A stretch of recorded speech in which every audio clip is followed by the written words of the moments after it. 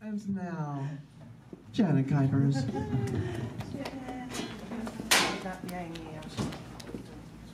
Hi. I'm searching through this. I'm looking for things that I don't didn't read often even then when I did these shows. So I'm going to pick three that I'd like to share with you from this book of past shows. Uh, this one is called How to Please a Woman.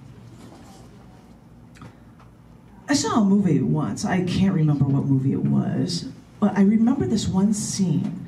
It was after protagonist is very intimate with a woman, and in the middle of the night, he gets uh, the man gets up and he gets dressed to go outside. And no, it wasn't to leave. I know half of you are probably thinking that, admit it.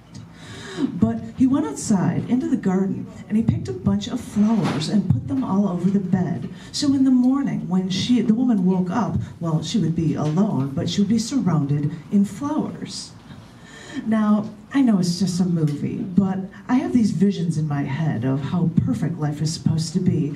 Okay, okay, call it being raised on Cinderella and Snow White and Sleeping Beauty, but in the back of my mind, I still want to have this vision in my head of being swept away. Wake me with a kiss, ride me off into the sunset. I don't want to tell someone how to sweep me off my feet, how to be romantic. Part of the romance, uh, the part of the romance is the element of surprise. Yes, I know this is the age of communication, and we're supposed to tell each other exactly how we feel. But I guess, as unreasonable as this is about to sound, I want you to be able to read my mind. Or, or don't read it and completely catch me off guard. And I mean that in a good way. Don't catch me off guard, for instance, by like watching basketball instead of celebrating my birthday. Sure, it could be flowers, I guess, but I don't think that we're just trying to milk you for everything that you've got or that we're, you know, trying to get more out of you because flowers picked from your garden or someone else's are often better than the ones that are from the store. Or maybe a bath or a picnic. Those are even better than flowers because they give us the gift we really want time. We want to know you are not only taking time out of your day schedule for us to be with us, but you took that time off your plan to make it perfect. We want to we want you to tell us we look pretty when we need to hear it. Or you don't know when we need to actually hear it? Just look into our eyes. You'll know. We want you to look excited to see us when you come home from work, even if you're tired and you just want to eat. We want to feel like we mean the world to you, like we mean more than that beer that you drink when you're been sitting in front of the uh, TV on the couch just watching sitcoms. We want poetry written about us, that the sun sets and nothing matters without us, that kind of stuff. Oh, okay, you're not a poet. Maybe you could write us a letter every once in a while. Oh, I know, it's that stupid time thing again. I know it's difficult, but that's what it's all about, remember? Even a note just saying, I love you on it could be enough. Here's an idea drop it in the mail. I know you see us every day, but that's what makes it special.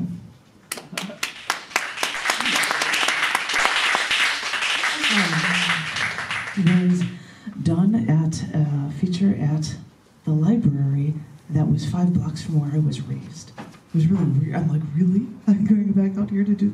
Um, this is a short piece called More Than We Should Have. When I think of him, I usually think about the drinking. Actually, I never think of him as drinking, come to think of it. I just think of him as drunk. I, I, don't always see the drinks in his hand, but his perception of the world is always altered. But someone reminded me tonight of when he would work outside in the cold Chicago winters, and he would come back from with his mustache all frozen, and there would be little icicles hanging down toward his mouth. And then I thought of when he picked me up at the airport, and he wanted a shrimp at the cocktail lounge, and he drank and ate, and I waited. And as we left, we tried to pay the expressway toll with pennies, but some of the coins fell onto the street, and we just rushed to throw more change at the machine. We paid more than we should have.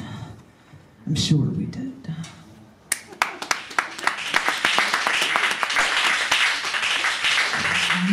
Since I talked about accident stuff. This was from a show that was called Death and Rebirth because it happened to be on the anniversary of the accident. I was like, well, I'm going to have to do, you know, and I had some pieces that I wrote like in the hospital because that was your salvation. you're, you're alone. And I'm like, give me something to write with. Um, and this was one piece from it. It's called Everyone Else Does It. It's funny. How do you get an image in your head of how you want to lead your life? And you have these ideas, and maybe they're not like anyone else's ideas, but this is how you think. And you find out that the, this is how you find out that it, it works for you. Eh, well, even if they're your ideas, you might get tired of thinking that way, even if everyone else is thinking something different. Well, you might force yourself to think differently then, but what do you do with all those original ideas once you force yourself to change them? Would you just throw these thoughts into the trash, into the garbage? You could do that, you know. I know they're just your ideas, but everyone else does it. You could do it too.